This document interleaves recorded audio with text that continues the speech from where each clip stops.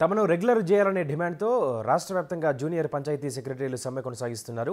వరంగల్ జిల్లాలో సమ్మె చేస్తున్న జేపీఎస్ల వద్దకు ఎంపీడీఓ వెళ్ళారు. సమ్మె విరమించాలని వారిని ఒత్తిడి చేశారు. నోటీసులతో జూనియర్ పంచాయతీ కార్యదర్శులకు వద్దకు చేరుకున్న ఎంపీడీఓలు విధుల్లో చేరాలని ఆదేశించారు. తమను రెగ్యులర్ చేసే వరకు సమ్మె ఆపేది లేదని జేపీఎస్లు తేల్చి చెప్పారు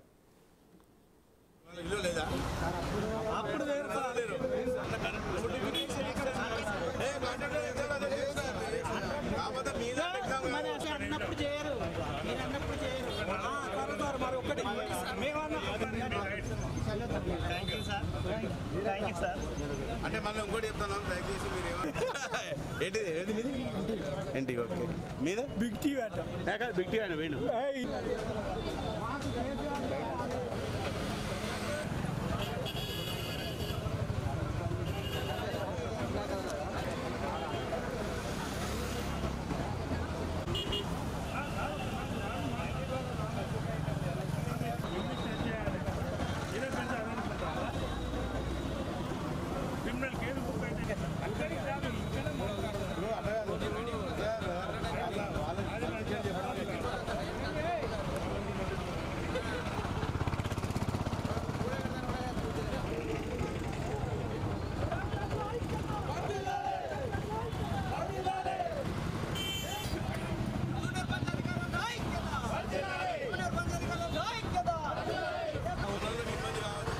వాళ్ళు టర్మినేట్ చేస్తా అంటారు వాళ్ళు టర్మినేట్ చేస్తే మన పరిస్థితి ఏంది కాంట్రాక్ట్ సమ్మె విరమించాలని వారిని ఒత్తిడి చేశారు. వాళ్ళు కాంట్రాక్ట్ సెక్రటరీలు కొన్ని సంవత్సరాలు చేశారు. వాళ్ళ ఇల్లు లేదా అప్పుడు వేరు సార్ లేరు. ఏ, కాంట్రాక్ట్ చేస్తారు, అదే చేస్తారు. కాకపోతే మీద ఎగ్జామ్ మరి అసలు అన్నప్పుడు చేయరు మీరు అన్నప్పుడు చేయరు ఆ, సరే సార్ మరి ఒక్కటి మేమన్నా తమను రెగ్యులర్ చేయాలనే డిమాండ్తో రాష్ట్ర వ్యాప్తంగా జూనియర్ పంచాయతీ సెక్రటరీలు సమ్మె కొనసాగిస్తున్నారు. వరంగల్ జిల్లాలో సమ్మె చేస్తున్న జేపీఎస్ల వద్దకు ఎంపీడీఓ వెళ్ళారు దానికి సంబంధించిన దృశ్యాలు మనం బిగ్ టీవీ మీద చూస్తున్నాం. వాళ్ళని సమ్మె విరమ విరమ విరమించాలి అంటూ కూడా ఒత్తిడి చేస్తున్నారు. దీనికి సంబంధించి జేపీఎస్లు కానీ ఓపీఎస్లు కానీ ఒకటే తేల్చి చెప్తున్నారు. సమ్మె విరమించే ప్రసక్తే లేదు. ఖచ్చితంగా కొనసాగిస్తాము. ప్రభుత్వం ఈ రకంగా వ్యవహరించడం కరెక్ట్ కాదన్నట్టుగా కూడా చెప్తున్నారు. వరంగల్లో పరిస్థితి మనం బిగ్ టీవీ స్క్రీన్పై చూస్తున్నాం. కార్యదర్శుల వద్దకు చేరుకున్న ఎంపీడీఓలు విధుల్లో చేరాలంటూ కూడా ఆదేశాలు ఇస్తున్న పరిస్థితి కనిపిస్తుంది. తమను రెగ్యులర్ చేసే వరకు కూడా ఈ సమ్మె ఆపేది లేదని జేపీఎస్లో తేల్చి చెప్తున్నారు.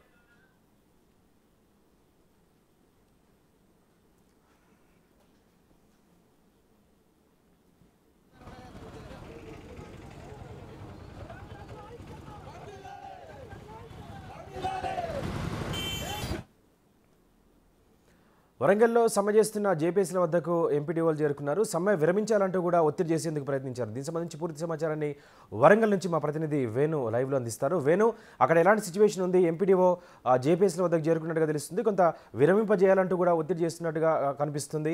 ఏం చెప్తున్నారు దీనికి సంబంధించి జేపీఎస్లో డీటెయిల్స్ ఏంటి?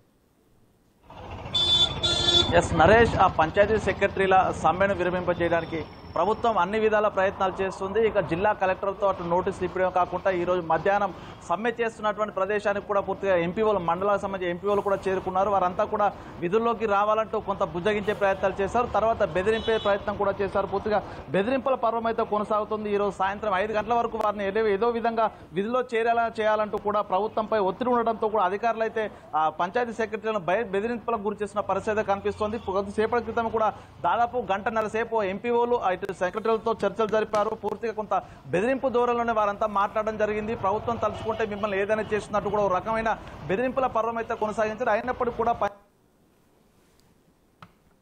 సంస్థకు సంబంధించి పూర్తి స్థాయి లోపల మాకు ఏదైనా హామీ ఇవ్వండి ప్రభుత్వం నుంచి మాకు రిటర్న్గా ఏదైనా వస్తే మాత్రం అప్పుడే జాయిన్ అవుతాము. అంతవరకు జాయిన్ అయ్యే ప్రసక్తి లేదంటూ కూడా పంచాయత్ సెక్రటరీలు ఆ ఎంపీఓలతో కూడా కొద్దిసేపు వాగ్వాదానికి కూడా దిగడం జరిగింది. మొత్తానికి ఆ ఎంపీఓల ద్వారా మధ్యవర్తిత్వం చేయాలనుకున్న ప్రభుత్వ అధికారుల కూడా పూర్తిగా ఫెయిల్ కావడంతో కూడా వారు ఎక్కడి నుంచి వెళ్ళిపోవడం జరిగింది. అయితే ఐదు గంటల వరకు కూడా ఈ యొక్క పంచాయత్ సెక్రటరీల జాయినింగ్ రిపోర్ట్ పై కూడా సిఎస్ కొద్దిసేపటి క్రితమే వీడియో కాన్ఫరెన్స్ మొదలు పెట్టారు అన్ని జిల్లా కలెక్టర్లతో పాటు ఆ పంచాయతీ జిల్లా కలెక్టర్లతో పాటు ఆ పంచాయతీరాజ్ సంబంధించిన అధికారులతో కూడా వీడియో కాన్ఫరెన్స్ నిర్వహిస్తున్నారు. దానికి సంబంధించి ఏదైనా ఎంతమంది జాయిన్ అయ్యారు ఏం జరుగుతుందన్న దానిపై పూర్తి డేటా తీసుకున్న తర్వాత వీరందరికి సంబంధించి ఒక కీలకమైన అప్డేట్ అయితే ఇచ్చే అవకాశం కనిపిస్తుంది. ప్రస్తుతం మనకి ఇక్కడ ఆ పంచాయత్ సెక్రటరీ ఉన్నారు. వారితో మాట్లాడే ప్రయత్నం చేద్దాం. చెప్పండి అసలు ఎంపీఓలు వచ్చారు. ఏం అడిగారు మిమ్మల్ని వాళ్ళు? సార్ వాళ్ళు ఆ, కాకుండా అసలు మంచి చెడు చెప్పడానికి ఒక తల్లిదండ్రులాగానే రావడం జరిగింది. వాళ్ళు ఏమన్నారంటే మేము గవర్నమెంట్ నుంచే ఇప్పుడు నిన్న ప్రిన్సిపల్ సెక్రటరీ గారు మీకు అందరూ తెలిసిన విషయమే. మాకు టర్మినేషన్ నోటీస్ ఇవ్వడం జరిగింది. ఆ టర్మినేషన్ నోటీస్ మీద ఫైవ్ ఓ క్లాక్ వరకు జాయిన్ కాకుంటే మా మీ లైఫ్ థ్రెటన్గా ఉంటుంది. తర్వాత ఇంకేమైనా ఇష్యూస్ ఉంటాయి కాబట్టి ఇమీడియట్గా మీరు అర్థం చేసుకొని జాయిన్ కాను అని చెప్పడం జరిగింది. సార్ వాళ్ళకి మీకు స్పష్టంగా మెన్షన్ చేయడం జరిగింది. సార్ మా నోటిఫికేషన్లో ఏమో ప్రొవిషన్ పీరియడ్ అని మెన్షన్ చేసేసి ఇప్పుడు టర్మినేషన్ నోటీస్లో ప్రిన్సిపల్ సెక్రటరీ హోదాలో ఉన్న సార్ వాళ్ళే కాంట్రాక్ట్ అని మెన్షన్ చేయడం మా మానసికంగా మా శోభ గురి చేసింది. ఇంకొకటి యూనియన్ ఫామ్ ఫామ్ అన్నారు యూనియన్ కూడా మేము ఎప్పుడు ఫామ్ చేయలేదు సార్. త్రీ ఇయర్స్ ఏదైతే ఏదైతే మీ నోటిఫికేషన్ వచ్చినట్టు మేము ఎప్పుడు కూడా మేము యూనియన్స్ కూడా ఫామ్ చేయలేదు. GO number twenty six four years prolong చేసిన తర్వాత మాత్రమే మా యొక్క న్యాయబద్ధ న్యాయబద్ధమైన కోరికను గురించి గురించి వివరించడానికి కోసమే మేము ఫామ్ చేసుకున్నాము తప్ప ఇలాంటి ఎలాంటి రకాలు కానీ ఏదైనా లేదు. ఇంకొకటి మేము ఎప్పుడు మాకు ఇప్పుడు అనిపించే ఫీలింగ్ ఏంటంటే ఇంత మంచిగా ఉన్నప్పుడు మీ న్యాయబద్ధంగా సమ్మె నిరవాధిక సమ్మె శాంతి శాంతియుత రూపంలో చేస్తున్న సమ్మెను మధ్యవర్తిగా పిలిచి సామరస్యంగా క్లోజ్ చేయాల్సిన ప్రభుత్వము ఇంత ఎంత అంటే ఎంత టర్మినేషన్ ఆర్డర్లు టర్మినేషన్ నోటీస్ అనేది మమ్మల్ని ఉసగొల్పినట్టే ఉందని మేము ప్రభుత్వానికి దయచేసి ఇటువంటి చర్యలు కరెక్ట్ కాదు. వెంటనే తక్షణమే మమ్మల్ని రాజుకి పిలిచి మీరు సామరస్య నిర్ణయం తీసుకుంటే మేము ఇమీడియట్గా టెన్లు తీసేసి రాజు పడి జాయిన్ కావడానికి మేము రెడీగా ఉన్నామని తెలియజేస్తాం. మీ పంచాయతీరాజ్ మంత్రి మాట్లాడారు జీవిత లాగం చేసుకోకూడదు కుటుంబ లాగం అవుతాయి వెంటనే జాయిన్ కావాలని చెప్పి ఆయన కూడా మాట్లాడారు జాయిన్ అవుతారా లేదా? ఒక్కటండి మేము మేము చెప్పేది ఏంటంటే జీవో రావాలి జీపీకి వెళ్ళాలి. అదే నినాదంతో మేము టెంట్ కింద కూర్చున్నాం. దాని ప్రకారమే మేము కట్టుబడి ఉన్నాము. మేము జీవో జీవోకి సంబంధించిన ఏ ఇన్ఫర్మేషన్ కానీ మాకు ఒక స్పష్టమైన హామీ వస్తే మాత్రం మేము జాయిన్ కావడానికి రెడీగా ఉన్నామండి.